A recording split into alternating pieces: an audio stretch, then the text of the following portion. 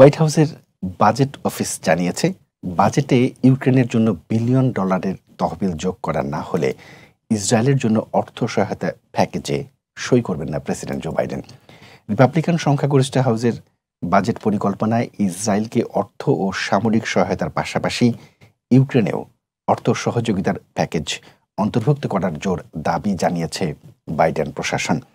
Office of management and budget রিপাবলিকানদের budget প্রস্তাব বিশ্লেষণের পর এক বিবৃতিতে বলেছে, রিপাবলিকানরা ইসরায়েলের সমর্থনে পক্ষপাতিত্ব করছেন এবং রাশিয়ার সঙ্গে ইউক্রেনের চলমান যুদ্ধকে কম গুরুত্ব দিয়ে প্রয়োজনীয় সহায়তা দিতে ব্যর্থ হয়েছেন। বাজেট প্যাকেজে বাইডেনের ভেটোর আশঙ্কায়।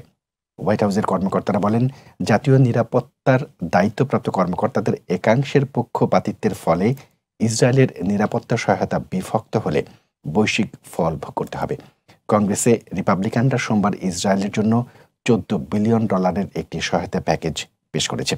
এতে বাইডেনের ইনফ্লেমেশন রিডাকশন অ্যাক্টের অধীনে ইন্টারনাল রেভিনিউ সার্ভিসের জন্য বরাদ্দ তহবিল কমানোর ও ইউক্রেনের জন্য বাইডেন প্রশাসনের প্রস্তাবিত সুরক্ষা সহায়তা বাদ দেওয়ার আহ্বান জানানো হয়। রিপাবলিকান কংগ্রেসরা ইসরায়েল ও ইউক্রেনের জন্য সহায়তা দ্বিখণ্ডিত করতে চান বলে মন্তব্য করেছেন জিওপি হাউসে নতুন speaker Mike Johnson.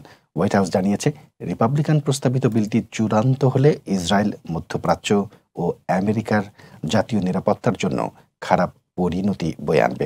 তবে একটি সমঝোতার জন্য আইন প্রণেতাদের সঙ্গে কাজ চালিয়ে যাবে হোয়াইট হাউস। বেশিরভাগ রিপাবলিকানই গাজায় হামাস গোষ্ঠীকে নির্মূলে ইসরায়েলি অভিযানে অতিরিক্ত সহায়তার পক্ষে সমর্থন করে। তবে কিয়েভের প্রতি তাদের সমর্থন নিয়ে দলের মধ্যে বিতর্ক ও পক্ষপাত শুরু হয়েছে।